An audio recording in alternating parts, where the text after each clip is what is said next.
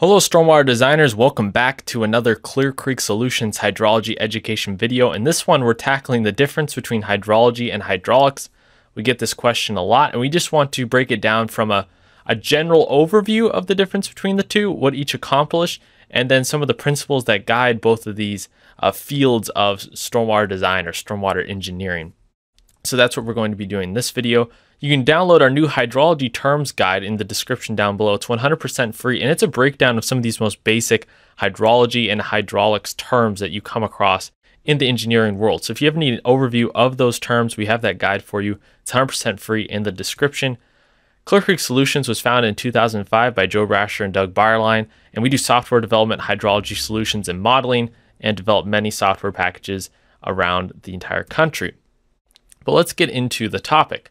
Let's first break down what is hydrology. And really, the hydrology is going to be everything surrounding the study of the hydrologic cycle, or as many know it as the water cycle. And when you first learn the water cycle, you know, in grade school or whenever you learn the water cycle, there's always sort of a basic overview that you get where, oh, it rains, the rain sort of falls, it goes into the ocean, and then it's eventually evaporated. And that's a very simplistic look at it, um, but it's still very true. There's just more and more steps as we begin to learn more about this process, the hydrologic cycle. Basically, we want to look at from uh, condensation forms these clouds, eventually forms precipitation, which and what happens with that precipitation is really important when it comes to the hydrologic cycle. Some of it's going to enter in the storage of these green leaves or some of the natural vegetation and eventually transpire back in the atmosphere or evaporate from a large water body.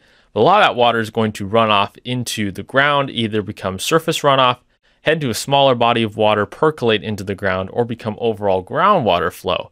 And a lot of that water will also become runoff flow that eventually will go to an ocean or already pre-designed mitigation facilities set up uh, by the local population.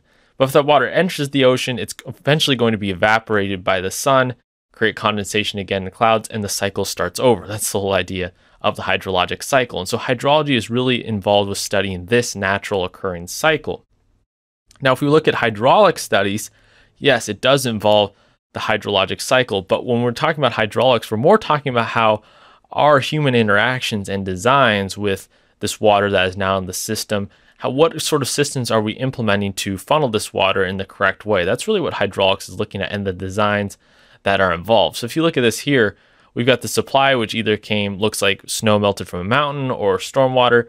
And so that, or uh, water that is rainfall or precipitation, and then that is entering a stream. But then where does it go from there? Maybe it goes to a treatment plant. Maybe it's caught in catch basins, funneled through the sewer system, the the the, the city's water distribution system, which is usually a network set up. That would be an hydraulic network. And then that might go to the wastewater collection system, finally treated at a plant, and then either funneled back into the natural environment through the, the water system or sent back out into nature. But that drinking water distribution system, which is likely a connection or a network of catch basins, pipes that are set up and usually funneled by gravity, that's the hydraulic system that we're talking about here. So hydrology is the study of the distribution and movement of water both and above and below the Earth's surface. It measures water and characteristics based on the natural environment such as temperature, precipitation patterns, evapotranspiration, and surface water movement.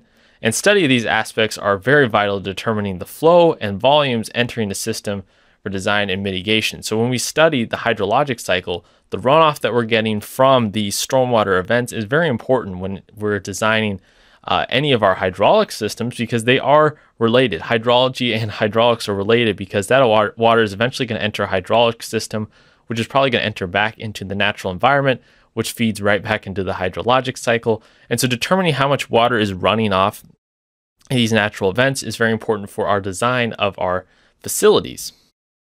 And so hydraulics involves the design and construction of structures that are used to convey water.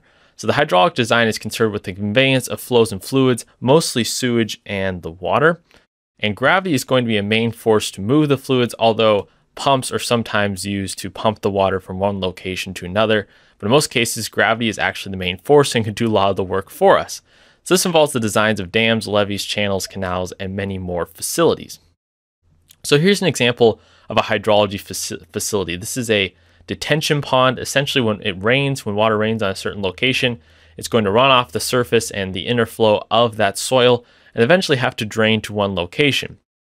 In this case, it's a pre-designed detention pond. So this is a design facility, but it's usually natural, naturally occurring things in nature, such as dirt, um, grass, and and things like that. And that is what is storing the water, as opposed to being funneled through pipes. Now they can be funneled through pipes, but this is an example of a hydrolo- hydrologic designed uh, facility. And then for hydraulics, this would be something designed in a hydraulic system. We have water that rains on a street. It's going to enter a storm drain, and through gravity, it's heading to a combined sewer system also, maybe the downspout from the house or the sewage from the house is also getting combined in this combined sewer system. A lot of the times, uh, the fresh water from the storm drain and the combined sewer don't always combine. They sometimes head into separate networks, but that's a, uh, an example of a design hydraulic system uh, that could be created.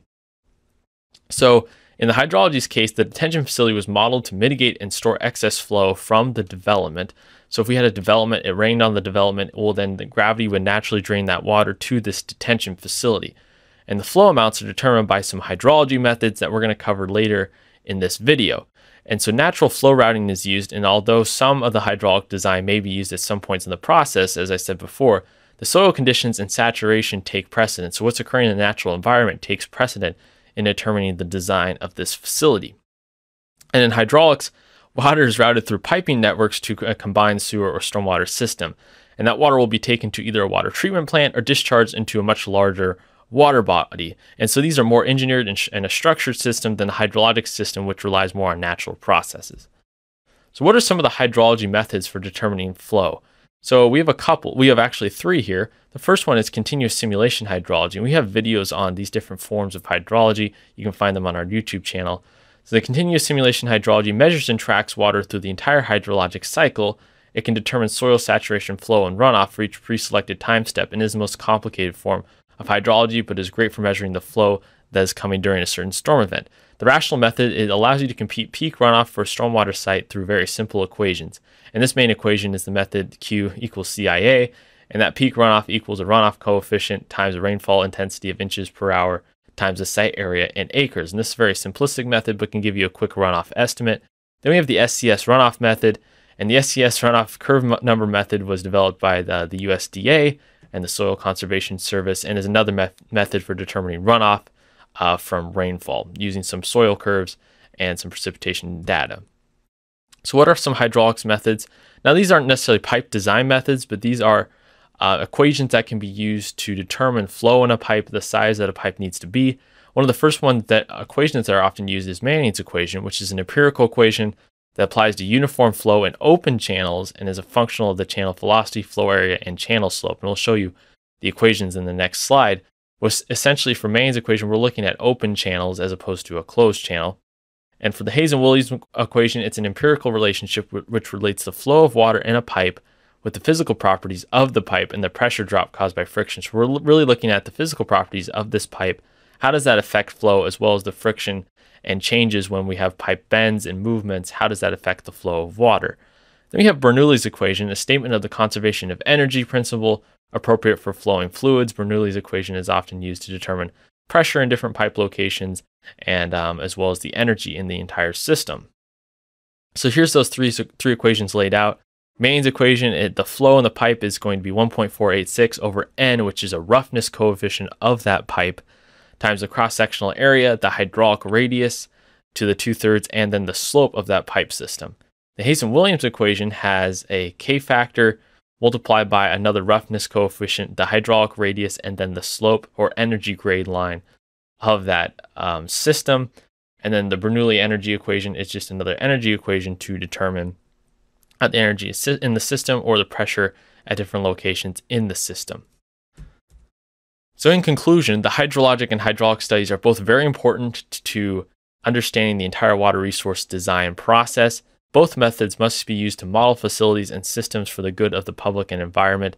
And there's many softwares that we use to model these aspects of design. For example, in Western Washington, the Western Washington hydrology model is used that modeled the hydrologic aspect, Many people use EPA SWMM or some version of SWMM to model the hydraulic process. Both of these are very important when we're sizing our stormwater systems in the entire country and used across the entire world. We need hydrologic facilities to take that runoff and mitigate it, but also we need hydraulic systems to funnel water, especially from urban areas, to then get treated or put back into the natural system. And so that is the main difference between the hydrologic and hydraulic cycles. If you have any questions, leave them comment down below, and we'll see you guys next time.